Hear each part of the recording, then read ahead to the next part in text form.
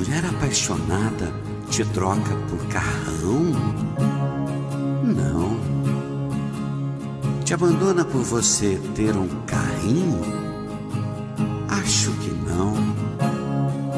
E se ele for pegador? Ouçam só. Eu vou contar pra vocês o que agrada uma mulher.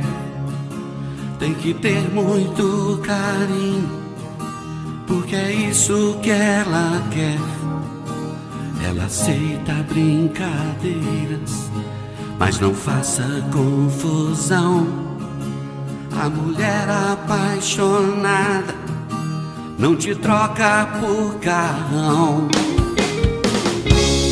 Ela quer um cabra macho.